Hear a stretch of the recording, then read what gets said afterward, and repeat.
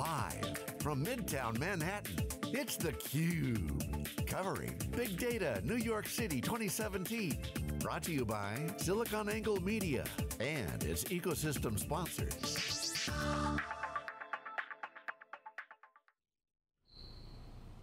Okay, welcome back everyone. Here live in New York City, this is theCUBE from SiliconANGLE Media special exclusive coverage of the big data world in NYC. We call it Big Data NYC in conjunction also with Strata Hadoop, Strata Data, Hadoop World, all going on kind of around the corner from our event here on 37th Street in Manhattan. I'm John Furrier, the co-host of theCUBE with Peter Burris, Head of Research at SiliconANGLE Media and General Manager of Wikibon Research. And our next guest is uh, one of our famous CUBE alumni, Prakash Nanduri, co-founder and CEO of Paxata, who launched his company here on theCUBE at our first inaugural Big Data NYC event in 2013.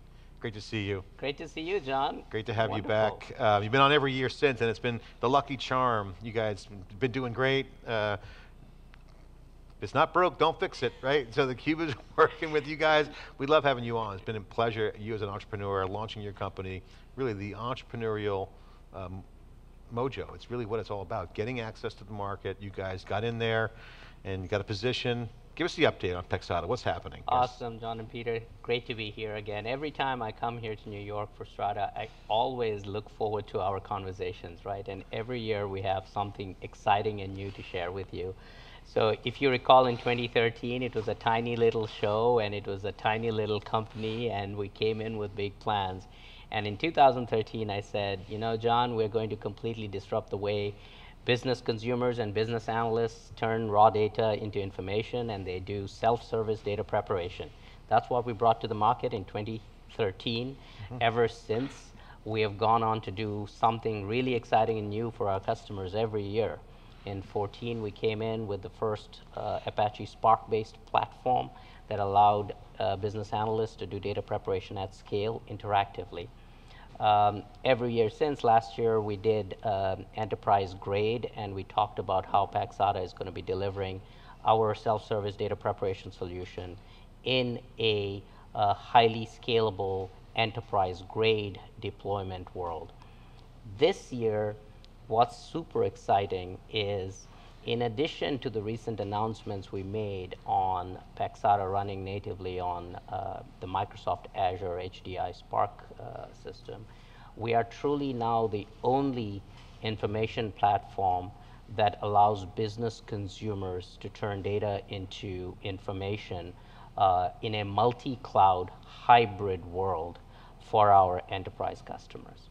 And the last few years, I came and I talked to you and I told you about what we're doing and what, what great things are happening.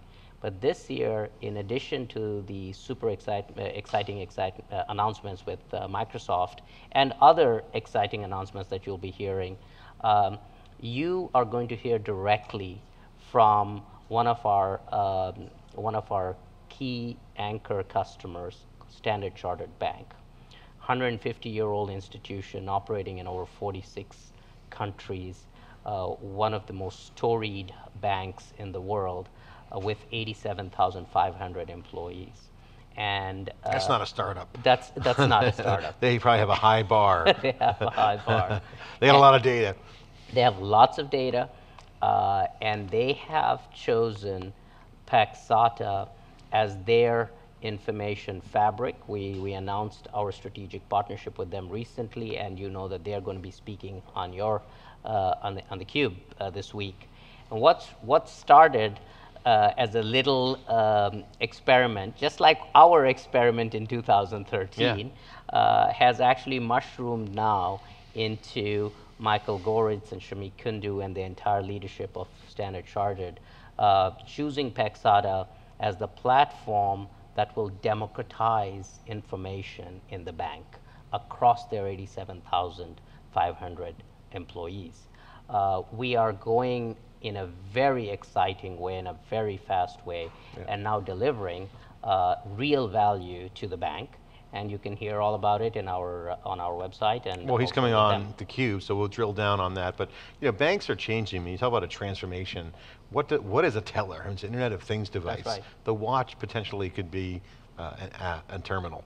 So the Internet of Things of people changes Exactly. the game, right? I mean, are the ATMs going to go away and become like broadcast points, or And uh, you're absolutely right. And, and really, what it is about is it doesn't matter if you're a standard chartered bank or if you're a pharma company or if you're the leading healthcare company. What it is, is that every one of our customers is really becoming an information inspired business. Uh, and what we are driving our customers to is moving from a world where they're data driven. I think being data driven is fine, but what you need to be is information inspired. And what does that mean? It means that you need to be able to consume data regardless of format, regardless of source, regardless of where it's coming from, and turn it into information that actually allows you to get insight and decisions. And that's what Paxata does for you. So, this whole notion of being information inspired, I don't care if you're a bank, if you're a car company, or if you're a healthcare company today, you need to have. Prakash, for the folks watching that might not know our history, obviously you launched on the Cube in 2013 and have been successful every year since. You guys really um, deploying the classic entrepreneur success formula. Be fast, walk the talk, listen to customers, add value. Let's take a minute quickly just to talk about what you guys do, just for the folks that don't know you guys. Absolutely. Let's just actually give it in the real example of, um, of um, you know, a customer like Standard Chartered. Uh, Standard Chartered operates in multiple countries. They have significant uh, number of lines of businesses, and uh, whether it's in risk and compliance, whether it is in their marketing department, whether it's in their um, in their uh, corporate banking business, uh, what they have to do is a simple example could be I want to create a customer list uh, to be able to go and run a marketing campaign. And the customer list in a particular region uh, is not something easy for a bank like Standard Chartered to come up with. They need to be able to pull from multiple sources. They need to be able to clean the data. They need to be able to shape the data to get that list. Um, and if you look at what uh, is really important, the people who understand the data are actually not the folks in IT, but the folks in business. So they need to have a tool and a platform that allows them to pull data from multiple sources, to be able to massage it, to be able to clean it. So you be sell to the business it. person?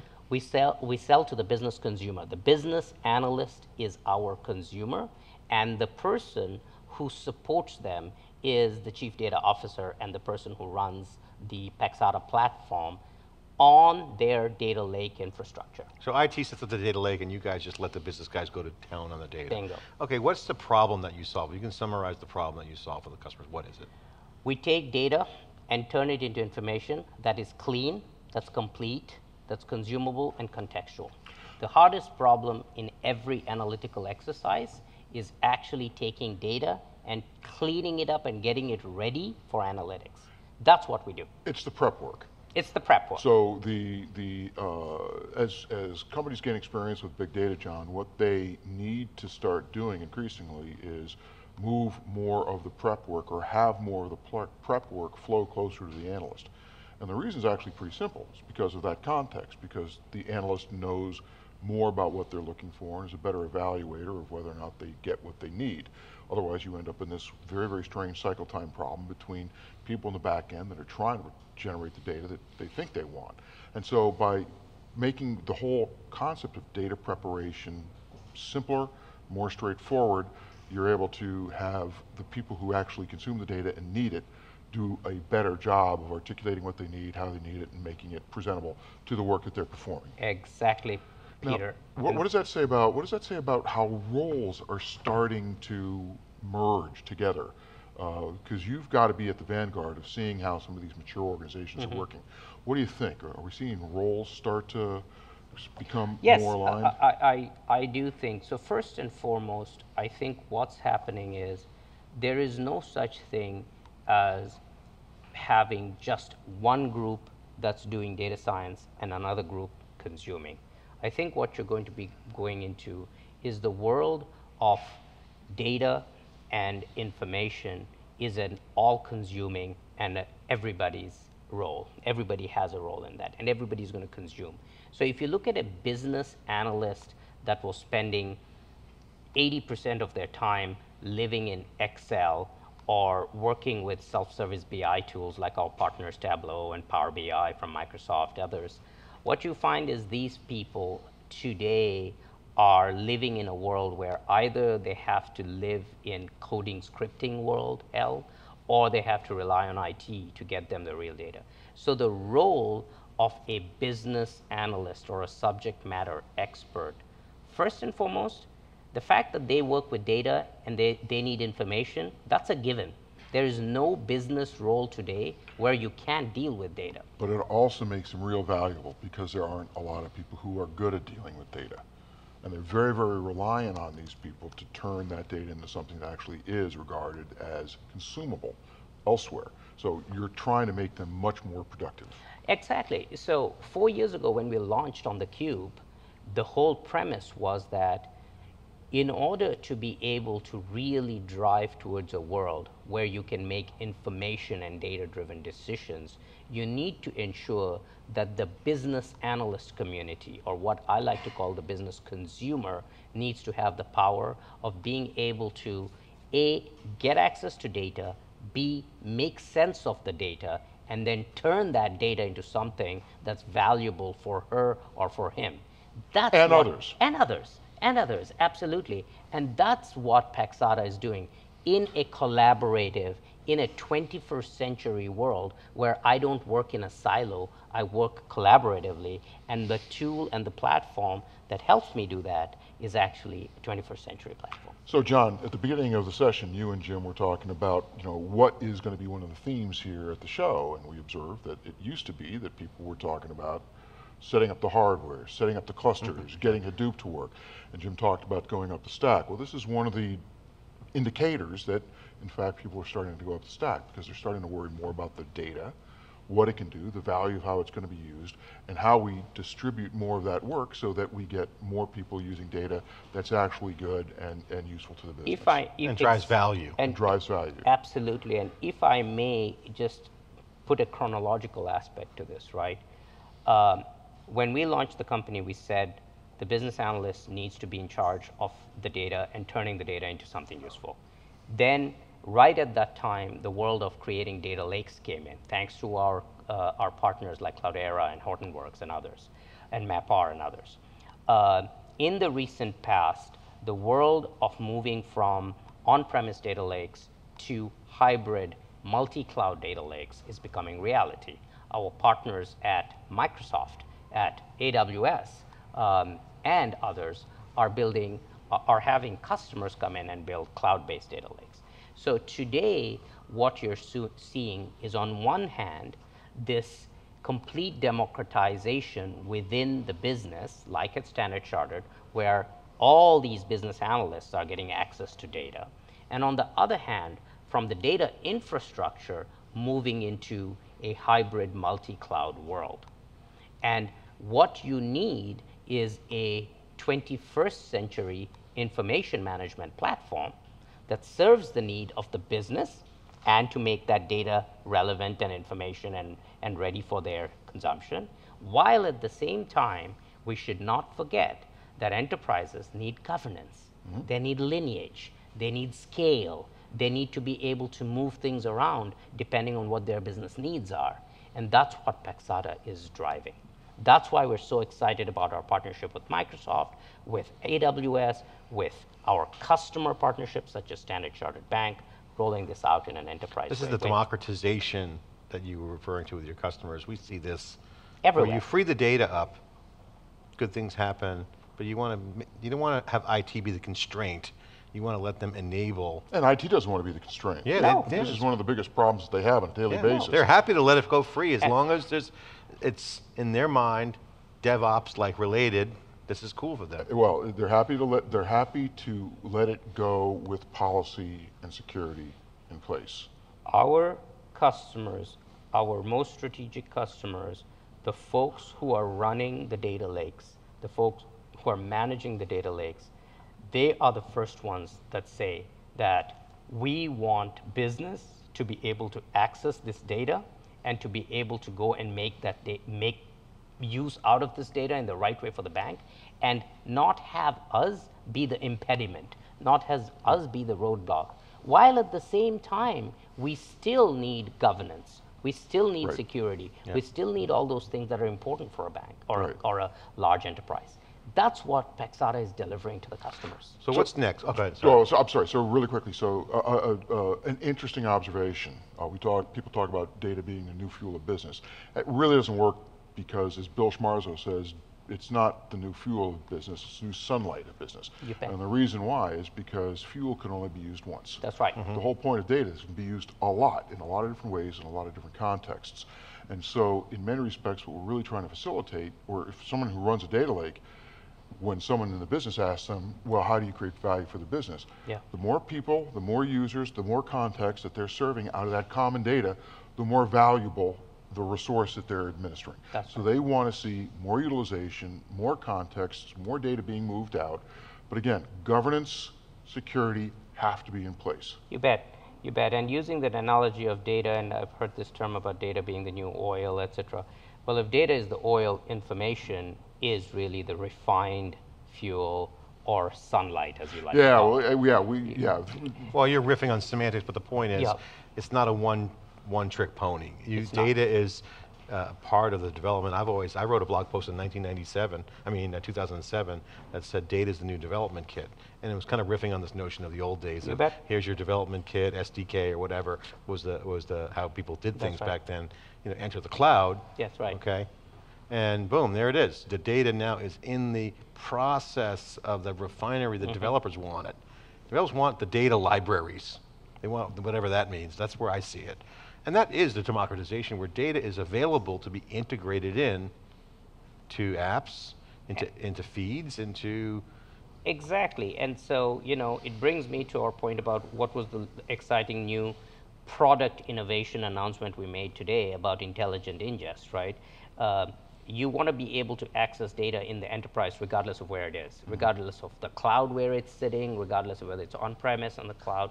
You don't need to, as a business, worry about whether that is a JSON file or whether that's an XML file or that's a relational file, etc. That's irrelevant. What you want is, do I have the access to the right data? Can I take that data? Can I turn it into something valuable? And then can I make a decision out of it? I need to do that fast. At the same time, I need to have the governance and security and all of that. That's, at the end of the day, the objective that our customers are driving towards. Prakash, thanks so much for coming on and being a great part of member of our community. Fantastic. You're part of our smart network of great people out there, and entrepreneurial journey continues. Yes. Um, final question. Just observation as you pinch yourself and you go down the journey. You guys are, are, are walking the talk, adding new. Yeah. products. We're a global landscape. You're Yes. seeing a lot of new stuff happening. Customers are, are, are trying to stay focused. a lot of distractions with whether it's security or data or app development. What's your state of the, the industry? How do you view the current market from your perspective and also how the customer might see it f- from their impact? Well, first thing is that I think in the last four years we have seen significant maturity both on the providers of software technology and solutions uh, and also uh, amongst the customers. I do think that going forward, what is really going to make a difference is one, really driving towards business outcomes wi- by leveraging data. We, we've talked about a lot of this over the last few years. What real business outcomes are you delivering? What we are super excited is when we see our customers, each one of them actually uh, subscribes to Paxata, we're, we're a SaaS company, they subscribe to Paxata not because they're doing a science experiment, but because they're trying to deliver real business value. What is that? Whether that is a risk and compliance solution, which is going to drive towards a real cost savings, or whether that's a top line benefit because they know what their customer 360 is and how they can go and serve their customers better, or how they can improve supply chains, or how they can optimize their entire efficiency in the company. I think if you take it from that lens, what is going to be important right now is there's lots of new technologies coming in. And what's important is how is it going to drive towards those top three business drivers that I have today for the next 18 months. So that's foundational. That's foundational. Those are the building blocks. That's what is happening, right? Don't jump in. If you're a customer, it's great to look at new technologies, et cetera. There's always innovation projects and R&D, do POCs, whatever, kick the tires. et cetera.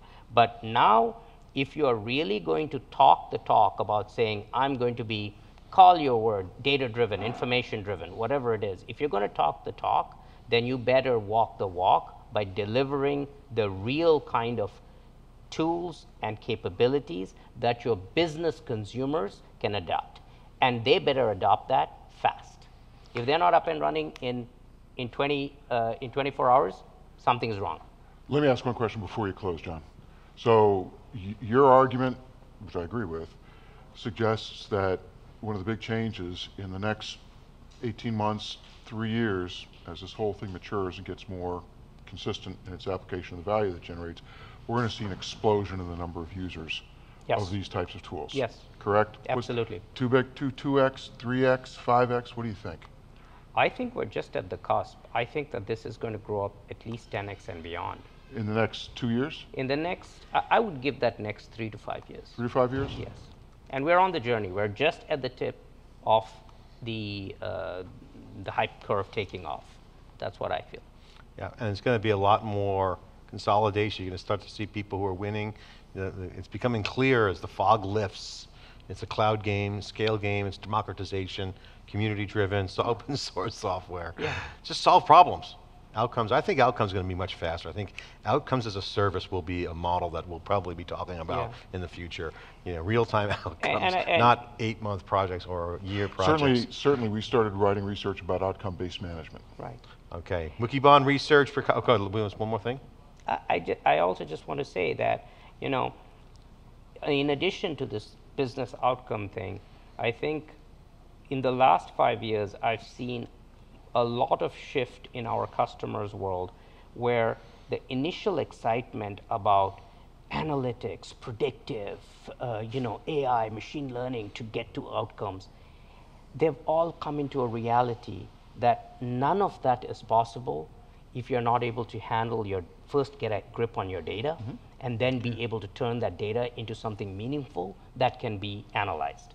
So that is also a major shift. That's why you're seeing the growth we're seeing. Because it's seeing. really hard. It's really hard. I mean, it's a cultural mindset. You have the personnel. It's an operational model. I mean, this is not like throw some pixie dust on it and magically happens. And that's why I say before you go into any kind of BI, analytics, AI initiative, stop, think about your information management strategy. Think about how you're going to democratize information. Think about how you're going to get governance. Think about how you're going to enable your business to turn data into information. You remember, you can't do AI without IA. Yeah. You can't do AI without information architecture. There you Yeah. go. That's Yeah, a great and one. I, and I think this Peter, all that's an points excellent to, point. and this points to why Wikibon's research of all the analyst firms got it right That's with right. true private cloud because people got to take care of their business here to have a foundation for the future, and you can't just jump to the future. There's too much diseconomies of scale, too many cracks in the foundation. You got to do your take your medicine now and do the homework and lay it down a solid You bet. foundation. All right, Prakash, great to have you in the cube. Again, congratulations. And again, it's great for us. I totally have a great uh, vibe when I see you, thinking about how you launched on the, on the cube in 2013 and how far you continue to climb. Congratulations. Thank you so much, John. Thanks, Peter. That was fantastic. All right, live coverage continuing day one of three days. It's going to be a great week here in New York City. Weather's perfect, and all the players are in town for Big Data NYC. I'm John Furrier, Peter Burris. We'll be back with more after this short break.